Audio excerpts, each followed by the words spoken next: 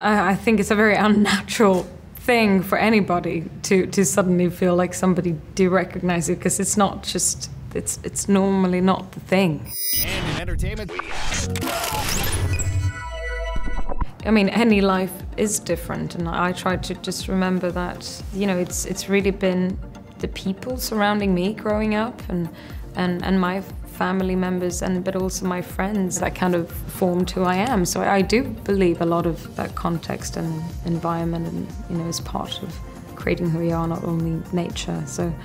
you know, I, I would want to do that with,